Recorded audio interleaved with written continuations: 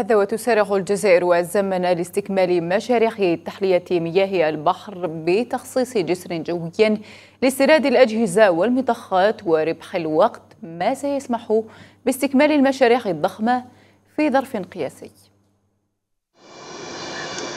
بعد استلامها أول شحنة من مضخات قادمة من اليابان موجهة لتشغيل أربع محطات كبرى لتحلية مياه البحر الشهر الماضي تستقبل الجزائر شحنة جديدة من التجهيزات والمعدات المنقولة على غرار مغيرات سرعة المحركات بالمحطات عبر جسر جوي على مدار شهر. عوض الشحن البحري يؤكد على إصرار صانع القرار في الجزائر الإسراع في عملية إنجاز محطات تحلية مياه البحر وتسليمها في آجالها المحددة.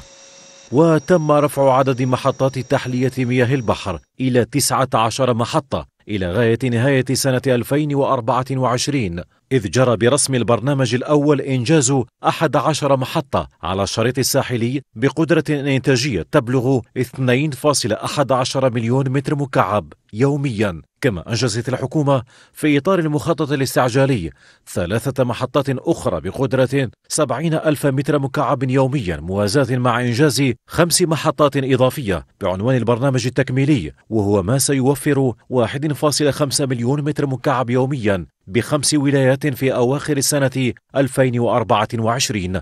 وتهدف الاستراتيجية الوطنية للمياه